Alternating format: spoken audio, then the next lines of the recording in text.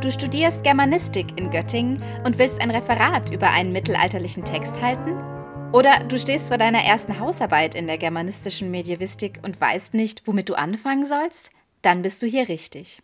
Eines unserer wichtigsten Nachschlagewerke in der Altgermanistik, das Verfasserlexikon, haben wir von der Mittelaltergermanistik dir bereits in einem anderen Video vorgestellt.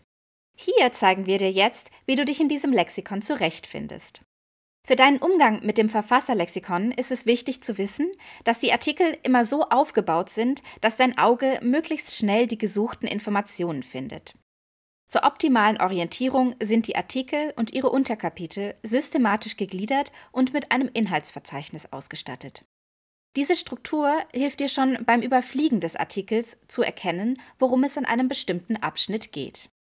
Die Einträge sind nicht essayistisch verfasst, sondern wollen so neutral wie möglich essentielle Informationen vermitteln. Um den effizienten Gebrauch sicherzustellen, gibt es zahlreiche Querverweise und Abkürzungen.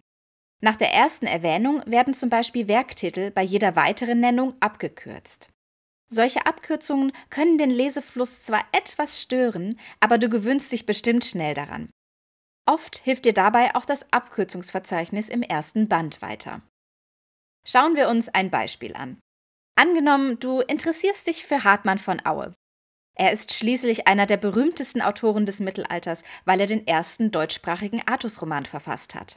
Der Anfangsbuchstabe seines Namens ist H, deswegen greifen wir zum dritten Band des Verfasserlexikons.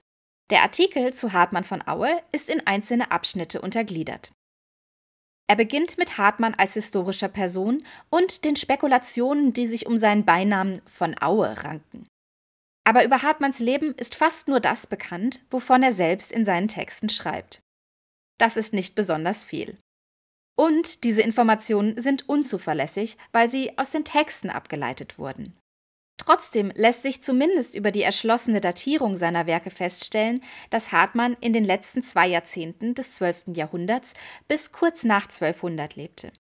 Außerdem zeigen seine Texte, dass er eine fundierte Schulbildung erhalten hat. Solche Informationen und Eckdaten findest du stets am Anfang eines Artikels zu den Verfasserinnen. Weil wir so wenig über Hartmann wissen, liegt in diesem Artikel, wie so oft im Verfasserlexikon, ein Schwerpunkt auf seinen Werken. Diese sind nach Gattungen und chronologisch nach Datierungen geordnet. Unter dem Punkt Lieder werden Hartmanns lyrische Texte über die Minne zusammengefasst. Die größeren epischen Texte, wie seine berühmten Artusromane, erhalten jeweils einen eigenen Unterpunkt. Diese wiederum sind in einzelne Abschnitte gegliedert. Darin werden dann Überlieferung, Textausgaben und Inhalt vorgestellt.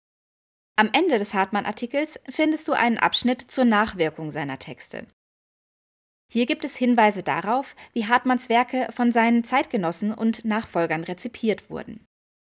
Den Abschluss jedes Artikels bildet eine Liste mit Forschungsliteratur, die für dessen Erstellung bedeutsam war. Ganz am Ende findest du den Namen der Wissenschaftlerin oder des Wissenschaftlers, der oder die den Artikel verfasst hat.